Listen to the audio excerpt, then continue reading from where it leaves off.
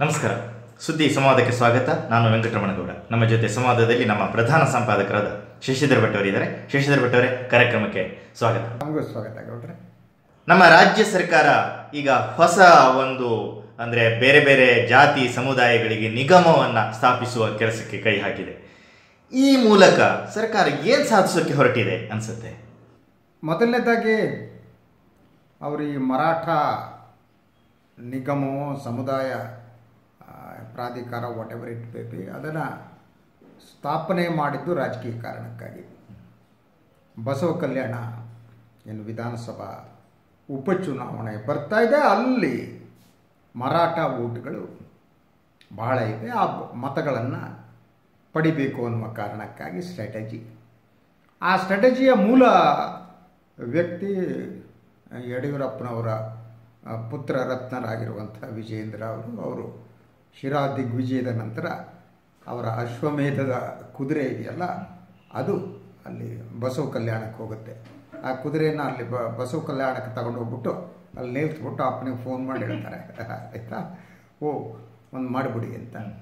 ಮಗ ಹೇಳ್ತಾರೆ, ಅಪ್ಪ ರೆಡಿ ಆಗ್ತಾರೆ, ಅದು ಇವತ್ತು ಸಂಪುಟ ಸಭೆ ಕೂಡ ಒಪ್ಪಿಗೆ ನೀಡಿದೆ.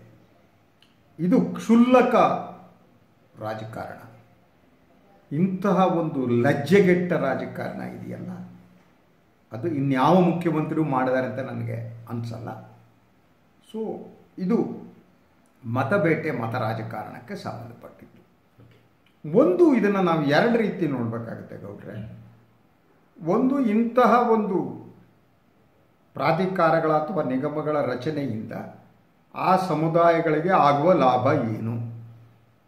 ನಿಜವಾದ ದೃಷ್ಟಿಯಿಂದ ಆ ಸಮುದಾಯ ಮೇಲೆ ಬರುತ್ತಾ? ಅಲ್ವಾ? ಅನ್ನುವುದು ಒಂದು ಪ್ರಶ್ನೆ, ಬಹಳ ಮುಖ್ಯವಾದ ಪ್ರಶ್ನೆ. ಸೊ ಅದರ ಜೊತೆಗೀಗ ಲಿಂಗಾಯತರಿಗೆ ಕೂಡ ವೀರಶೈವ ಲಿಂಗಾಯತ ಅಭಿವೃದ್ಧಿ ಏನು ಪ್ರಾಧಿಕಾರನೋ ನಿಗಮನ ರಚನೆ ಆಗ್ತಾ ಇದೆ, ಅದನ್ನು ಕೂಡ ಅನೌನ್ಸ್ ಮಾಡಿದ್ದಾರೆ. ಸೊ ಹೀಗೆ ಪ್ರತಿ ಜಾತಿ ಸಮುದಾಯಗಳಿಗೆ ಇಂತಹ ಒಂದು ನಿಗಮವನ್ನು ರಚನೆ ಮಾಡುವ ಮೂಲಕ ನೀವು ಏನು ಸಾಧನೆ ಮಾಡ್ತೀರಿ ಅನ್ನೋದು ಪ್ರಶ್ನೆ. ಮರಾಠದ ನಂತರ ನೋಡೋಣ ಒಂದು ಸಪ್ರೇಟಾಗಿ ಸೊ ಇದನ್ನು ನೀವು ರಚನೆ ಮಾಡುವ ಮೂಲಕ ಅದಕ್ಕೊಂದು ಐನೂರು ಕೋಟಿ ಕೊಡ್ತೀರಿ ಸಾವಿರ ಕೋಟಿ ಕೊಡ್ತೀರಿ ಈಗ ಲಿಂಗಾಯತರು ಕನಿಷ್ಠ ಎರಡು ಸಾವಿರ ಕೋಟಿ ಬೇಕು ಅಂತ ಕೇಳ್ತಿದ್ದಾರೆ. ಅಲ್ವಾ ನೀವು ಎಲ್ಲಿಯವರೆಗೆ ಇದನ್ನು ನೀವು ಮಾಡೋದಕ್ಕಾಗುತ್ತೆ ಮತ್ತು ಇದನ್ನು ಮಾಡಬೇಕಾದ್ರೆ ಸಾಮಾಜಿಕ ನ್ಯಾಯದ ಪ್ರಶ್ನೆ ಏನಿದೆ? ಇನ್ನೂ ಕೂಡ ತುಳಿತಕ್ಕೆ ಒಳಗಾದ ಬೇರೆ ಬೇರೆ ಸಮುದಾಯಗಳು ಕರ್ನಾಟಕದಲ್ಲಿವೆ. ಅಲ್ವಾ ಅವರಿಗೆ ಕಡೆ ನೀವು ಲಕ್ಷ್ಯ ವಹಿಸಿದ್ರೆ ಅದಕ್ಕೊಂದು ಸಾಮಾಜಿಕ ನ್ಯಾಯದ ಪ್ರಶ್ನೆ ಬರ್ತಿತ್ತು. ಆದರೆ ಇದು ಸಾಮಾಜಿಕ ನ್ಯಾಯಕ್ಕಿಂತ ಬಹುಮುಖ್ಯವಾಗಿ ರಾಜಕೀಯ ನ್ಯಾಯವನ್ನು ರಾಜಕೀಯ ಲಾಭದ ಪ್ರಶ್ನೆಯನ್ನು ಇಟ್ಕೊಂಡು ಅವರು ಮಾಡ್ತಾ ಇರುವಂಥದ್ದು ಇದು ಈ ಟ್ರೆಂಡ್ ಏನಿದೆ, ಇದು ಒಂದು ಅಪಾಯವನ್ನು ಸೃಷ್ಟಿಸುತ್ತೆ. ಈ ಮರಾಠ ಅಭಿವೃದ್ಧಿ ನಿಗಮದ ಅಪಾಯ ಏನಿದೆ, ಅದು ಗಡಿ ಪ್ರದೇಶದಲ್ಲಿ ಇದ್ದವರಿಗೆ ಅರ್ಥ ಆಗುತ್ತೆ. ನಾನು ಗಡಿ ಪ್ರದೇಶದಲ್ಲಿ ನಾನು ಎಜುಕೇಷನ್ ಬೆಳಗಾವಣೆ ಮಾಡಿದರೆ ನನಗೆ ಅಲ್ಲಿ ಸೂಕ್ಷ್ಮತೆ ಕೊಟ್ಟು. ಹೀಗಾಗಿ ಅವರು ಒಂದು ರೀತಿಯಲ್ಲಿ ಈ ಜೇನು ಹುಟ್ಟಿಗೆ ಕೈ ಹಾಕೋದು ಅಂತಾರಲ್ಲ? ಜೇನು ಹುಟ್ಟಿಗೆ ಕೈ ಹಾಕುವ ರಾಜಕಾರಣವನ್ನು ರಾಜಕೀಯ ಲಾಭಕ್ಕಾಗಿ ಬಿ ಜೆ ಪಿ ಸರ್ಕಾರ ಯಡಿಯೂರಪ್ಪನವ್ರ ಸರ್ಕಾರ ಮಾಡಿದೆ ಅನ್ನೋದು ನನ್ನ ಫಸ್ಟ್ ಅಬ್ಸರ್ವೇಷನ್ ಓಕೆ ಓಕೆ. ಈ ಅಭಿವೃದ್ಧಿ ನಿಗಮ ಅನ್ನೋದಿದೆಯಲ್ಲ ಇದು ಇದ್ರು ಈ ನಿಗಮದ ಮೂಲಕವೇ ಒಂದು ಸಮುದಾಯದ ಅಭಿವೃದ್ಧಿ ಸಾಧ್ಯ ಆಗುತ್ತಾ? ಅಥವಾ ಸಮುದಾಯದ ಅಭಿವೃದ್ಧಿ ಅನ್ನುವ ಪರಿಕಲ್ಪನೆಯನ್ನು ಸರ್ಕಾರ ತಪ್ಪಾಗಿ ಅರ್ಥ ಮಾಡ್ಕೊಳ್ತಿದ್ಯಾ? ಬೇರೆ ಎಂಥ ದಾರಿಗಳನ್ನು ಆಯ್ದುಕೊಳ್ಳುವುದು ಆಯ್ದುಕೊಳ್ಳಬಹುದಿತ್ತು? ಗೌಡ್ರ ಒಂದು. ಈಗ ನೂರ ತೊಂಬತ್ತಾರ ತೊಂಬತ್ತೇಳು ನಿಗಮಗಳು ರಾಜ್ಯದಲ್ಲಿವೆ. ಸೊ ಇನ್ನೂರು ಗಡಿ ದಾಟ್ತಿವೆ ಇನ್ನೂರು ನಿಗಮಗಳು ಮಾಡಿರುವ ಸಾಧನೆ ಏನು? ಒಂದು ನಿಗಮಕ್ಕೊಂದು ಕಚೇರಿಯನ್ನು ಕೊಡಲಾಗುತ್ತೆ. ಒಬ್ಬ ಅಧ್ಯಕ್ಷರನ್ನು ಕೊಡಲಾಗುತ್ತೆ. ಆ ಅಧ್ಯಕ್ಷರಿಗೆ ಸಂಪುಟ ದರ್ಜೆನೋ ರಾಜ್ಯ ಸಚಿವ ಸ್ಥಾನವನ್ನು ಕೊಡಲಾಗುತ್ತೆ. ಗೂಟದ ಕಾರನ್ನು ಕೊಡಲಾಗುತ್ತೆ. ಕೆಲವು ಸದಸ್ಯರನ್ನು ನೇಮಿಸಲಾಗುತ್ತೆ. ಅಲ್ವಾ? ಇದು ಇದರಿಂದ ಆ ಸಮುದಾಯದ ಸಮಸ್ಯೆಗಳ ಬಗೆಹರುತ್ತಾ ಅಭಿವೃದ್ಧಿ ಆಗತ್ತಾ ಅಭಿವೃದ್ಧಿಯ ದೃಷ್ಟಿಕೋನ ಏನು ನಿಮ್ಮದು ಅಭಿವೃದ್ಧಿಯ ಬದ್ಧತೆ ಏನು ನಿಮ್ಮದು ಅಲ್ವಾ? ಸೊ ಈಗ ಲಿಂಗಾಯತರಿಗೆ ಒಂದು ಕೊಡೋದಕ್ಕೆ ಹೊರಟಿದ್ದೀನಿ. ಅದರಲ್ಲಿ ಬಹಳಷ್ಟು ಸ್ವಾಮಿಗಳು ನೀಡಿರುವ ಪ್ರತಿಕ್ರಿಯೆಗಳನ್ನು ಕೂಡ ನಾನು ಗಮನಿಸಿದ್ದೀನಿ. ಅದರಲ್ಲಿ ಭಾಳ ಆರೋಗ್ಯಪೂರ್ಣವಾಗಿ ಮಾತನಾಡಿದವರು ಸಿದ್ಧಗಂಗಾ ಸ್ವಾಮೀಜಿಗಳು. ಅಂದರೆ ಅವರು ಬಹಳ ಸ್ಪಷ್ಟವಾಗಿ ಎಲ್ಲ ಜಾತಿ ಸಮುದಾಯದಲ್ಲಿ ಬಡವರು ಇದ್ದಾರೆ. ಸೊ ಅವ್ರಿಗೆ ನೀನೇನು ಮಾಡ್ತೀರಿ ಅನ್ನೋ ಪ್ರಶ್ನೆಯನ್ನು ಕೇಳ್ತಾರೆ. ಕೇವಲ ಬಡತನ ಒಂದೇ ಮಾನದಂಡ ಅಲ್ಲ, ಸಾಮಾಜಿಕ ತಾರತಮ್ಯ ಕೂಡ ಇಂಥದಕ್ಕೆ ಒಂದು ಮಾನದಂಡ ಆಗಬೇಕು. ಬಡತನ ಪೂರ್ಣ ಅಲ್ಲ. ಅಂದರೆ ಒಬ್ಬ ಬಡ ಬ್ರಾಹ್ಮಣನಿಗೂ ಒಬ್ಬ ಬಡ ದಲಿತರಿಗೂ ವ್ಯತ್ಯಾಸ ಇರುತ್ತೆ. ಅಲ್ವಾ? ಬಡ ದಲಿತನಾದವನು ಆರ್ಥಿಕ ಸಮಸ್ಯೆ ಜೊತೆಗೆ ಸಾಮಾಜಿಕ ತುಳಿತಕ್ಕೆ ಒಳಗಾಗಿರ್ತಾನೆ. ಸಾಮಾಜಿಕವಾಗಿ ನೋವನ್ನು ಅನುಭವಿಸ್ತಿರ್ತಾನೆ. ಸೊ ಇದು ಭಾಳ ಸ್ಪಷ್ಟವಾದ್ದು. ಆದರೆ ನೀವೀಗ ಈ ಪ್ರಥಮವಾಗಿ ಈಗ ಲಿಂಗಾಯತರಿಗೆ ಮಾಡ್ತೀರಿ ಲಿಂಗಾಯತರು ಬಡವರು ಇಲ್ಲ ಅಂತಲ್ಲ. ಐ ಡೋಂಟ್ ಸೇ ದೌಟ್ ಅಥವಾ ಸಾಮಾಜಿಕವಾಗಿ ತುಳಿತಕ್ಕೊಳಗಾದವರು ಇದ್ದಾರೆ ಅಂದರೆ ಹನ್ನೊಂದನೇ ಶತಮಾನದಲ್ಲಿ ಬಸವಣ್ಣ ಏನು ಸಾಮಾಜಿಕ ಕ್ರಾಂತಿಯನ್ನು ಮಾಡಿದ, ಆಗ ಯಾರ್ಯಾರು ಲಿಂಗಾಯತರಾಗಿ ಪರಿವರ್ತನೆ ಆದರೂ, ಲಿಂಗಾಯತ ಧರ್ಮವನ್ನು ಒಪ್ಪಿಕೊಂಡ್ರು ಅವರು ಇವತ್ತು ಕೂಡ ಪ್ರತ್ಯೇಕವಾಗಿದ್ದಾರೆ. ಅಂದರೆ ಬಸವಣ್ಣನ ಉದ್ದೇಶನೇ ಈಡೇರಲಿಲ್ಲ. ಅಂದರೆ ನೀವು ಲಿಂಗಾಯತರ ಒಳಗಡೆ ಬಣಜಿಗ ಲಿಂಗಾಯತರಿದ್ದಾರೆ ಗಾಣಿಗ ಲಿಂಗಾಯತರಿದ್ದಾರೆ ಅಂದರೆ ಅವ್ರ ಮೂಲ ಯಾವ ವೃತ್ತಿಯನ್ನು ಮಾಡ್ತಿದ್ದಾರೋ ಅದರಿಂದ ಯಾರು ಲಿಂಗಾಯತರ ಪರಿವರ್ತನೆ ಆದರೂ ಅವರನ್ನೇ ಲಿಂಗಾಯತ ಸಮುದಾಯ ಸಂಪೂರ್ಣವಾಗಿ ಒಪ್ಕೊಂಡಿಲ್ಲ. ಅಲ್ವಾ? ಸೊ ಅವರನ್ನು ಪ್ರತ್ಯೇಕವಾಗಿ ಇಡಲಾಗಿದೆ. ಇದು ಸಾಮಾಜಿಕ ಸಮಸ್ಯೆ. ಕೇವಲ ಆರ್ಥಿಕ ಸಮಸ್ಯೆ ಮಾತ್ರ ಅಲ್ಲ. ಈಗ ಗಾಣಿಗ ಲಿಂಗಾಯತರು ಇದ್ದಾರೆ. ಅವರು ಮೊದಲು ಗಾಣಿಗರಾದವರು, ಎಣ್ಣೆ ತೆಗೆದವರು. ನಾನು ಯಾರನ್ನ ಕೇಳಿದೆ ಗಾಣಿಗ ಲಿಂಗಾಯತರ ನೀವು ಉಳಿದ ಲಿಂಗಾಯತರ ಜೊತೆ ನಿಮ್ಮ ಸಂಬಂಧ ಮಾಡ್ತಾರ, ಹೆಣ್ಣು ಕೊಡೋದು, ಮದುವೆ ಮಾಡೋದು. ಅವ್ರು ಹೇಳಿದ್ರು, ಇಲ್ಲ, ನಾವು ಪ್ರತ್ಯೇಕ, ನಾವು ಗಾ, ನಾವು ಏನು ಗಾಡಿಗಿರ್ತೀವಿ ಗಾಣಿಗರು ಅಂದರೆ ಇದು ಬಹಳ ಮುಖ್ಯವಾದ ಸಮಾನತೆಗೆ ಇದು ಬಹುದೊಡ್ಡ ಸವಾಲಾಗಿದೆ ಅನ್ನುವಂಥದ್ದು. ಅಂದರೆ ಇದು, ಇದನ್ನು ನೀವು ನೋಡಿ ಕೇವಲ ಒಂದು ಅಭಿವೃದ್ಧಿ ಪ್ರಾಧಿಕಾರವನ್ನು ಮಾಡಿ ಒಂದು ಗೂಟದ ಕಾರಣ ಒಬ್ಬರಿಗೆ ಕೊಟ್ಟು, ನೀವು ಈ ಅಸಮಾನತೆಯನ್ನು ಹೇಗೆ ಬಗೆಹರಿಸ್ತೀರಿ? ಅವ್ರನ್ನ ಆರ್ಥಿಕವಾಗಿ ಮಾತ್ರ ಅಲ್ಲ ಸಾಮಾಜಿಕವಾಗಿ ಅವ್ರನ್ನ. ನೀವು ಹೇಗೆ ಸಬಲಗೊಳಿಸ್ತೀರಿ ಅನ್ನುವುದು ಬಹಳ ಮುಖ್ಯವಾದ ಪ್ರಶ್ನೆ. ಅದನ್ನ ಅಡ್ರೆಸ್ ಮಾಡ್ದಾಗ ಕಾಣಲ್ಲ. ಇನ್ನು ನಾವು ಮಾತನಾಡಬೇಕಂದು ಈ ಮರಾಠ ಇದು ಈಗಾಗಲೇ ಐದನೇ ತಾರೀಕಿಗೆ ಕರ್ನಾಟಕ ಬಂದ್ ಕರೆಯಲಾಗಿದೆ ಇದು ಬಹಳ ಒಂದು ಡೇಂಜರಸ್ ಆದ ರಾಜಕೀಯ ಆಟ ಅಂತ ನನಗೆ ಅನಿಸುತ್ತೆ ಕೊಟ್ಟರೆ ಇಲ್ಲಿರುವ ಮರಾಠಿಗರು ಕನ್ನಡದ ಸಂಸ್ಕೃತಿಯ ಜೊತೆ, ಅವರ ಮನಸ್ಥಿತಿ ಕನ್ನಡದ ಸಂಸ್ಕೃತಿಯ ಜೊತೆ ಲೀನ ಆದ ಹಾಗಿಲ್ಲ ಪ್ರತಿಯೊಂದು ಕನ್ನಡದ ಸಂಸ್ಕೃತಿ ವಿಚಾರಕ್ಕೆ ಬಂದಾಗಲೆಲ್ಲ ಅವರ ಪ್ರತಿಭಟನೆಗಳು ಅವರ ಒಂದು ಒಂಥರ ವಿಲಕ್ಷಣ ನಡೆಗಳನ್ನು ನಾವು ಗಮನಿಸ್ತಾ ಬಂದಿದ್ದೀವಿ. ಸಂಗೊಳ್ಳಿ ರಾಯಣ್ಣನ ಪ್ರತಿಮೆ ಸ್ಥಾಪನೆ ಸಂದರ್ಭದಲ್ಲಿ ಕೂಡ ಇದನ್ನ ನಾವು ಗಮನಿಸ್ತೀವಿ. ಹೀಗಿರುವಾಗ ಈ ನಿಗಮ ಸ್ಥಾಪನೆ ಮತ್ತೆ ಅವರ ಕನ್ನಡ ವಿರೋಧಿ ನಡೆಗೆ ಇನ್ನಷ್ಟು ಕುಮ್ಮಕ್ಕು ಕೊಡುವ ಸಾಧ್ಯತೆ ಕಾಣಿಸುತ್ತಾ? ಇದನ್ನು ನೀವು ಎರಡು ರೀತಿ ನೋಡಬೇಕು. ಒಂದು ಗಡಿ ಪ್ರದೇಶದಲ್ಲಿರುವ ಮರಾಠಿಗರೇನಿದ್ದಾರೆ ಅವರು ಭಾಳಷ್ಟು ಜನ ಸಿ ಇಂಥ ಚಟುವಟಿಕೆಯಲ್ಲಿ ತೊಡಗ್ತಾರೆ ಮತ್ತು ಮರಾಠಕ್ಕೆ ಸೇರಬೇಕು ಅನ್ನೋದು ಎಂ ಇ ಎಸ್ ಪ್ರಭಾವದಲ್ಲಿ, ಮಹಾರಾಷ್ಟ್ರ ಏಕೀಕರಣ ಸಮಿತಿ ಅಂತ ಅದರ ಪ್ರಭಾವದಲ್ಲಿ ಬೆಳೆದಂಥವ್ರು. ಅವರು ಯೂಶಲಿ ಬೆಳಗಾವ್ ಕಾರವಾರ, ನಿಪ್ಪಾಣಿ ಸಂಯುಕ್ತ ಮರಾಠ್ರ ಜಾಲಾತ್ ಪಾಯ್ಜೆ ಅಂತ ಈ ಜಾಲಾತ್ ಪಾಯ್ಜೆಯ ಜನ ಏನಿದ್ದಾರೆ, ಅವ್ರದ್ದು ಒಂದು ಪಾರ್ಟ್ ಇನ್ನೊಂದು ಮರಾಠ ಸಮುದಾಯವಾಗಿ ಇದ್ದಂಥವ್ರು. ಅಂಥ ಸಮುದಾಯ ಕರ್ನಾಟಕದ ಒಳಗಡೆನೂ ಇದ್ದಾರೆ ನಿಮ್ಗೆ ಮಡಿಕೇರಿಯಿಂದ ಹಿಡಿದು ಕೂರ್ಗ್ನಿಂದ ಹಿಡಿದು ನಮ್ಮ ಉತ್ತರ ಕನ್ನಡದಲ್ಲೂ ಕೂಡ ಮರಾಠ ಮಾತನಾಡುವ ಮರಾಠ ಸಮುದಾಯ ಇದ್ದಾರೆ.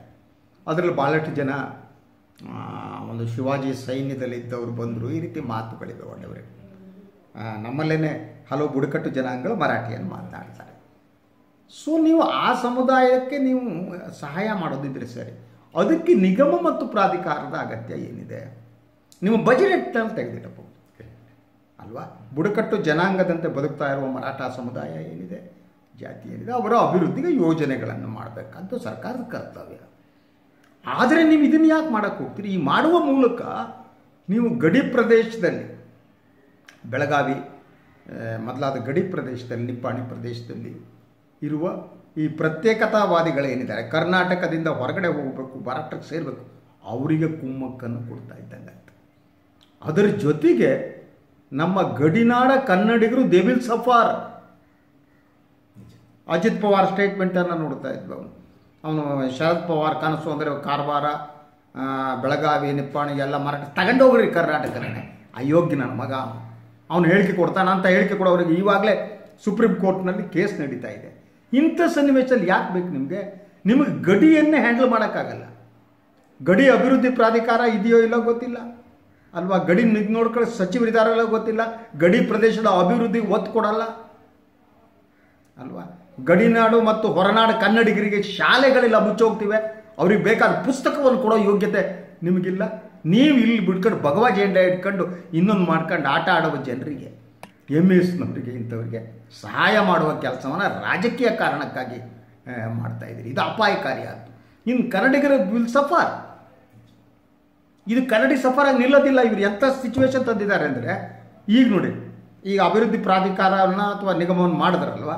ಇದು ನಿಲ್ಸೋ ಸಿಚುವೇಶನ್ ಇಲ್ಲ ಅವರು. ಮಾಡಿದ ತಕ್ಷಣ ಮಾರಾಟದಲ್ಲಿ ರಿಪರ್ಕಷನ್ ಆಗುತ್ತೆ. ಮಾರಾಟದಲ್ಲಿ ಕನ್ನಡಿಗರಿದ್ದಾರೆ. ಅಲ್ವಾ? ಸೋಲಾಪುರದಲ್ಲಿ ಕನ್ನಡಿಗರಿದ್ದಾರೆ. ಕೊಲ್ಲಾಪುರದಲ್ಲಿ ಕನ್ನಡಿಗರಿದ್ದಾರೆ. ಸಾಂಗ್ಲಿಯಲ್ಲಿದ್ದಾರೆ. ಎಲ್ಲ ಕಡೆ ಕನ್ನಡಿಗರಿಗೆ ನಿಲ್ಲಿಸಿದ ತಕ್ಷಣ ಅಲ್ಲಿ ರಿಪರ್ಕಷನ್ ಆಗೋ ಕೆಲಸ ಇದೆ. ಎಂ ಎಸ್ ಗುಂಡಗಳು ಅವ್ರ ಮೇಲೆ ಮಾಡ್ಬೋದು. ಸೆವೆಂಟೀಸ್ನಲ್ಲಿ ಮಾರಾಟ ಮುಂಬೈದಲ್ಲಿ ಏನು ಕನ್ನಡಿಗರ ಮೇಲೆ ದಾಳಿ ನಡೀತಲ್ಲ ಅಂಥ ಸಿಚುವೇಶನ್ ನಿರ್ಮಾಣ ಆಗ್ಬೋದು.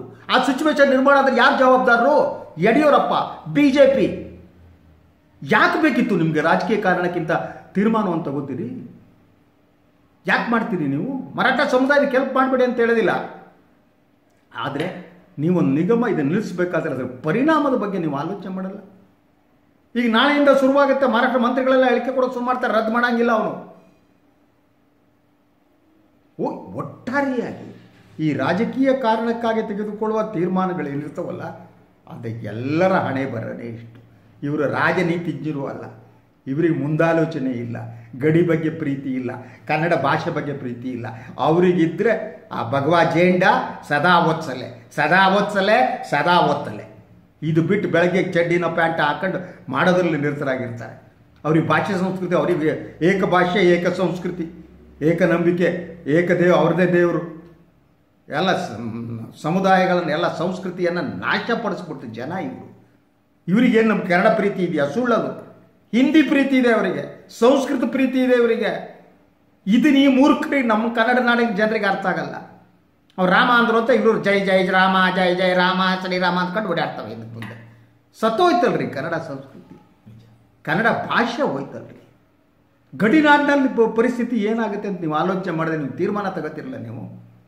ನಿಮಗೆ ನಾಡ ಬಗ್ಗೆ ಪ್ರೀತಿ ಬೇಡವಾ, ಭಾಷೆ ಬಗ್ಗೆ ಪ್ರೀತಿ ಬೇಡವಾ? ಈ ನೆಲದ ಬಗ್ಗೆ, ಈ ನದಿಯ ಬಗ್ಗೆ, ಈ ಸಂಸ್ಕೃತಿ ಬಗ್ಗೆ ಯಾವುದ್ರ ಬಗ್ಗೆನೂ ನಿಮಗೆ ಕ- ಒಂದು ಕನಿಷ್ಠ ಕಳಕಳಿ ಇಲ್ವಲ್ರಿ? ಆಟರ್ ನಾನ್ ಸೆನ್ಸ್ ಕೊಡ್ರಿ ಈ ಇದ್ದಕ್ಕಿದ್ದಂಗೆ ಈ ಮರಾಠ ನಿಗಮದ ಪ್ರಸ್ತಾಪ ಬಂತಲ್ಲ ಇದರ ಹಿಂದೆ ಬೆಳಗಾವಿ ರಾಜಕಾರಣ ಏನಾದರೂ ಕೆಲಸ ಮಾಡುತ್ತಾ? ಯಾಕಂದ್ರೆ ಇದರ ವಿರುದ್ಧ ಪ್ರತಿಭಟನೆ ಮಾಡಿದ್ರೆ ಪ್ರತಿಭಟನಾಕಾರರ ವಿರುದ್ಧ ಕಠಿಣ ಕ್ರಮ ಕೈಗೊಳ್ತೀವಿ ಅಂತ ಬಹಳ ದುಡುಕಿನ ಒಂದು ಸ್ಟೇಟ್ಮೆಂಟ್ ಅನ್ನ ಸಿಎಂ ಕೊಟ್ಟು. ಏನು ನಡೀತಾ ಇದೆ ಹಿಂದೆ? ಒಂದು ಎರಡನೇದಾಗಿ ಈ ಎಂ ಇ ಎಸ್ ವಾದಿಗಳು ಏನಿದಾರಲ್ವ? ಅವರೆಲ್ಲ ಬಹುತೇಕ ಶಿವಾಜಿ ಭಕ್ತರು, ಮರಾಠಿ. ಬಿ ಜೆ ಪಿ ಕೂಡ ಶಿವಾಜಿ ಭಕ್ತರು ಅವರ. ಐಕಾನ್ ಶಿವಾಜಿ. ಅಲ್ವಾ? ಯಾಕೆಂದರೆ ಅವ್ನು ಯಾರೋ ಮುಸ್ಲಿಮರ ವಿರುದ್ಧ ಹೋರಾಟ, ಅಟ್ಟಕ್ಕೆ.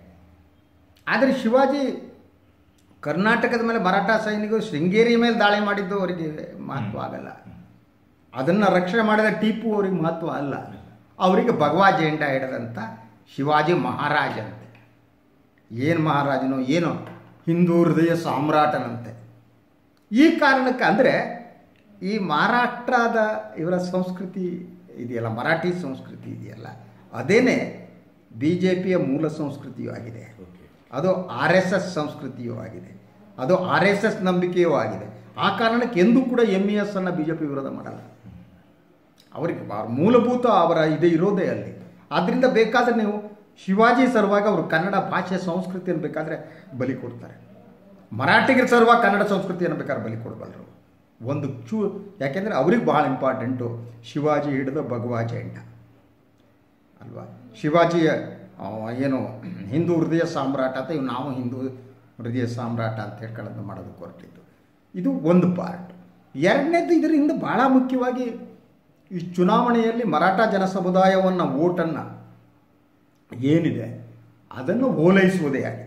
ಈಗ ನಾವೆಲ್ಲ ಹೇಳಿದಷ್ಟು ದೀರ್ಘವಾಗಿ ಯಡಿಯೂರಪ್ಪ ಯೋಚನೆ ಮಾಡ್ದ ಅಂತ ನನಗನ್ಸಲ್ಲ. ಅವ್ರ ಆ ರೀತಿ ಯೋಚನೆ ಮಾಡಲ್ಲ. ಅವ ಮಗ ಫೋನ್ ಮಾಡ್ದ ಅಪ್ಪಯ್ಯ ಅಂದ ಏನು ಮಗ ಅಂದ ಅಪ್ಪ್ಯ ಅಪ್ಪಯ್ಯ ಹೋಗಿ ಮಾಡಯ್ಯ ಅಪ್ಪಯ್ಯ ಇಲ್ಲೂ ಗೆದ್ದು ಬಿಡ್ತೀವಿ ಹೌದ ಮಗ, ಮಾಡ್ತೀನಿ, ಹೋಗಪ್ಪ.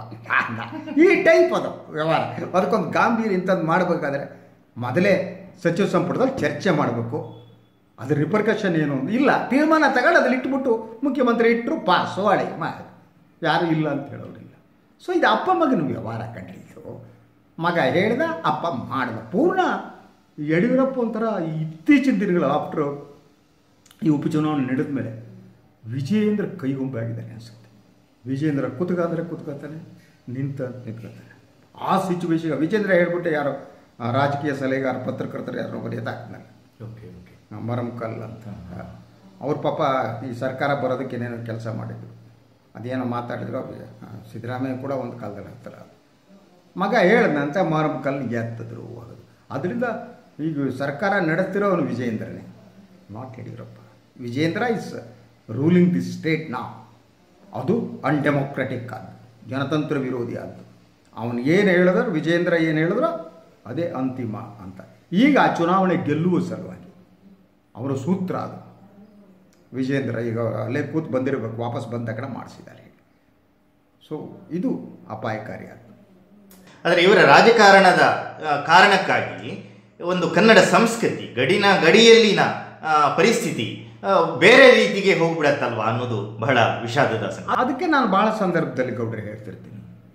ಈ ರಾಷ್ಟ್ರೀಯ ಪಕ್ಷಗಳು ಏನಿವೆ ಅವರು ನಮ್ಮ ಕನ್ನಡ ನಾಡಿನ ಸಾಹಿತ್ಯ, ಸಂಸ್ಕೃತಿ, ಪರಂಪರೆ, ಜನಪದ ಯಾವುದನ್ನು ಉಳಿಸಲು ಬಲಿ ಕೊಡ್ತಾರೆ.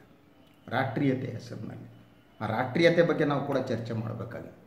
ಇಂಥ ಸನ್ನಿವೇಶದಲ್ಲಿ ಕನ್ನಡ ನಾಡಿಗರ, ಕನ್ನಡಿಗರ ಒಂದು ಪಕ್ಷ ಬೇಕು. ದುರ್ದೈವ ಅಂತ ಅಂದರೆ ಈ ಜೆ ಡಿ ಎಸ್ಗೆ ಅವಕಾಶ ಇತ್ತು, ಅವರು ಅಪ್ಪ, ಮಗ ಸೇರಿ ಅದನ್ನು ನಾಶಪಡಿಸ್ಬಿಟ್ರು. ಸೊ ಅಂಥ ಒಂದು ಪಕ್ಷ ಏನಿದೆ? ಕನ್ನಡಿಗರ ಪಕ್ಷ, ಕನ್ನಡಕ್ಕಾಗಿ. ನಮ್ಮ ಭಾಷೆಗಾಗಿ, ನಮ್ಮ ಸಂಸ್ಕೃತಿಗಾಗಿ, ನಮ್ಮ ಪರಂಪರೆಗಾಗಿ ಭಾಷೆ ಅಂದರೆ ಬದುಕು ಕಟ್ಟ್ರಿ ಸಂಸ್ಕೃತಿ ಅಂದರೆ ಬದುಕು ಕಟ್ಟ್ರಿ ಅದನ್ನು ಉಳಿಸುವಂಥ ಒಂದು ರಾಜಕೀಯ ವ್ಯವಸ್ಥೆ ಬೇಕು. ಈ ಬಿ ಜೆ ಪಿ ಆಗಲಿ, ಕಾಂಗ್ರೆಸ್ ಆಗಲಿ ನಮ್ಮ ಕನ್ನಡ ನಾಡಲ್ಲ ರಾಷ್ಟ್ರೀಯ ಪಕ್ಷ. ಅವರು ಸೋನಿಯಾ ಗಾಂಧಿನೋ, ಮೋದಿನೋ, ಅವರೆಲ್ಲ ಹೇಳ್ದಂಗೆ ಕೇಳ್ಕೊಂಡು ಇವ್ರು ಆಡಳಿತ ಮಾಡುವ ಕ್ಷುಲ್ಲಕ ಜನ. ಇವರಿಗೆ ಕನ್ನಡದ ಬಗ್ಗೆ ಪ್ರೀತಿ ಆಗಲಿ, ಯಾಕೆ ಪ್ರೀತಿ ಇಟ್ಕೋಬೇಕು ಕನ್ನಡದ ಬಗ್ಗೆ ಅನ್ನುವ ಅರಿವಿಲ್ದಿರೋ ಜನ. ದಿ ವಿಲ್ ಫಿನಿಶ್ ಇದು ತೋರಿಸ್ತಾ ಇದೆ. ಈಗಾಗಲೇ ನಾವು ಕನ್ನಡ ಸಂಸ್ಕೃತಿ ನಾಶವಾಗ್ತಾ ಇದೆ. ಅದನ್ನು ಉಳಿಸೋದಕ್ಕೆ ಯಾರೂ ಆಗಲ್ಲ. ಯಾಕಂದರೆ ಕನ್ನಡ ಹೋರಾಟದ ಸಂಘಟನೆಗಳಿಗೆ ಕೂಡ ಅಂತಹ ಒಂದು ನೈತಿಕವಾದ ಪರಿಧಿ ಇಲ್ಲ ಅವರಿಗೆ. ಅವರು ಘೋಷಣೆಗಳಿಗೆ ಸೀಮಿತ ಆಗಿ ಅದನ್ನು ಮೀರಿ ಕನ್ನಡತನ ಎಂದರೇನು ಕನ್ನಡ ಏನು? ಆ ಆ ರೀತಿಯ ಆಲೋಚನೆಗಳು ಹುಟ್ಟೇ ಇಲ್ಲ. ಅದು ಚಳವಳಿಯ ಮೂಲಕ ಹುಟ್ಟಬೇಕಾಗಿದೆ.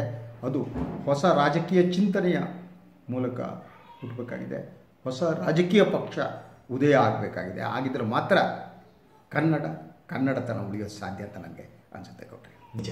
ಸಂವಾದದಲ್ಲಿ ಪಾಲ್ಗೊಂಡಿದ್ದಕ್ಕೆ ಧನ್ಯವಾದಗಳು. ತಮಗೂ ಧನ್ಯವಾದ ಗೌಡ್ರೆ. ಪ್ರಿಯ ವೀಕ್ಷಕರೇ ಇನ್ನೊಂದು ವಿಚಾರದೊಂದಿಗೆ ನಾನು ಮತ್ತು ಗೌಡ್ರು ಬರ್ತೀನಿ ಇವತ್ತಿನಿಂದ ಎಲ್ಲರಿಗೂ ಒಳ್ಳೆಯದಾಗಲಿ ನಮಸ್ಕಾರ.